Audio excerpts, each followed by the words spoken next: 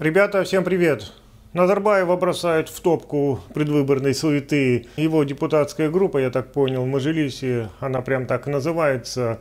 Жена Казахстан предложили идею вернуть Астане старое название, а новое название Нур-Султан вышвернуть. Они объясняют это тем, что якобы народ это не одобрил.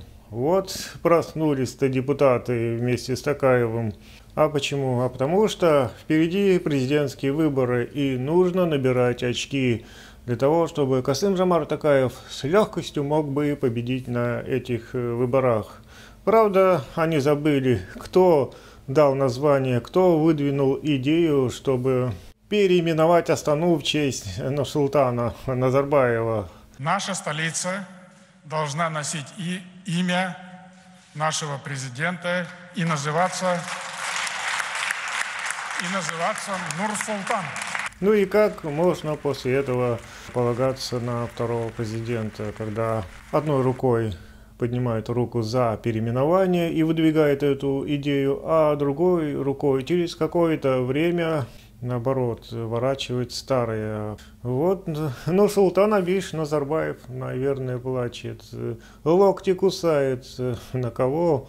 Зачем я сделал ставку на Такаева? Какой все-таки оказался преемник ненадежный. Не зря в январе мы совершили попытку, наверное, да, свержения. Но это мое мнение. Тут не то, что нужно ворачивать старые названия Астане, но и всем проспектам, улицам. И нужно убрать памятники Назарбаева по всем городам, поскольку, как это так, человек еще живой, а в честь него уже такое, да? Это происходит в Каргандинской области. А я хочу сказать, что очень ответственный наш Аким области. Все, что поручения он дает – для выполнения определенных заданий, например, данного района, где он побывал, все это выполняется, и он сам проверяет. Вот он у нас был в мае месяце, были у нас проблемы там по воде, по свету. Все решилось?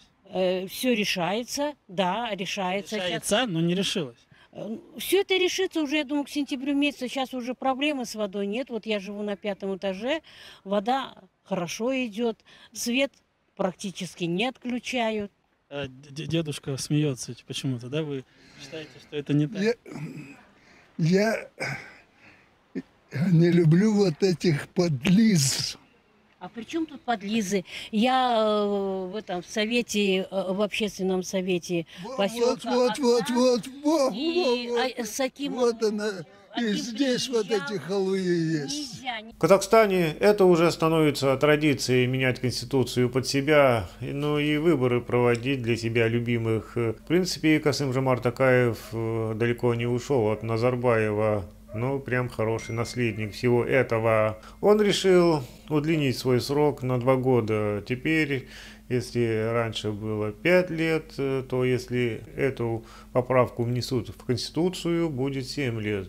И вот интересно, если Касым Жамар Такаев э, на этих выборах, э, он уже выдвинул в качестве себя кандидата, пойдет по старым законам, то есть на 5 лет, получается, когда он станет президентом, если выиграет, то будет внесена поправка семилетний срок, и получается возможно, что сроки Касым-Жамара Такаева могут обнулиться, и он на следующих выборах может пойти уже на семилетний срок. И тут вопрос, в каком году он уйдет на пенсию глубокой-глубокой старостью, если, конечно, доживет.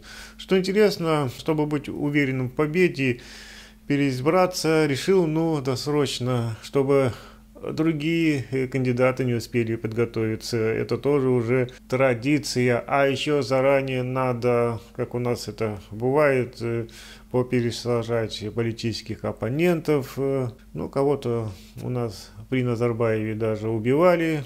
Ну, можно изгнать с, со страны, как это было, как это бывает у нас в нашей стране. И таким образом политическое поле как бы зачищено, и можно свободно шагать на без альтернативной основе в президентство. Ну а чтобы создавать видимость политической борьбы и демократии, нарисует нужных кандидатов, которые будут имитировать конкуренцию на политическом поле.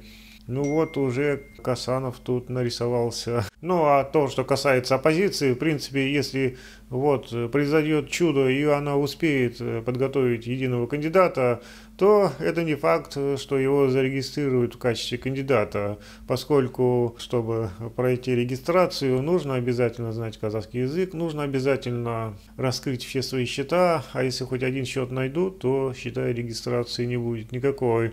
А еще нужно иметь пятилетний стаж работы в государственных органах власти и много-много чего. Президентские выборы – это апогей политической борьбы. А Миржан Касанов, который участвовал в 2019 году в президентских выборах и занял второе место, а может быть даже и первое, но слил свою победу, можно сказать, унитаз, заявил о намерении участвовать в выборах.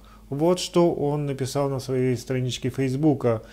Как гражданин Республики Казахстан, который занял формальное второе место на прошедших в 2019 году президентских выборах, заявляю о своем намерении участвовать на объявленных сегодня президентом Такаевым внеочередных президентских выборах.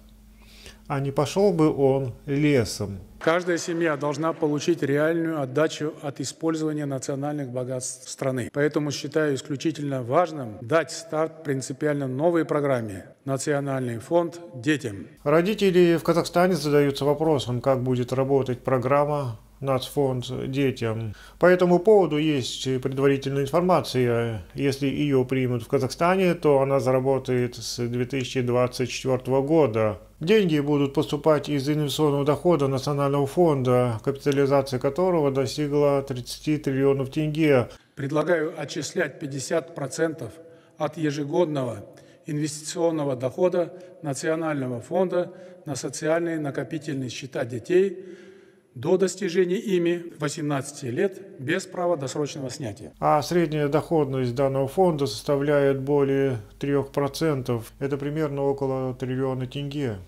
Если 50% э, этой суммы поделить на всех детей, то получается, как сообщают, это примерно более 70 тысяч тенге в год на каждого ребенка будет начисляться. И кто не знает, в Казахстане 6 миллионов 300 тысяч детишек. Э, то есть детей можно считать э, человека, который не достиг 18-летнего срока.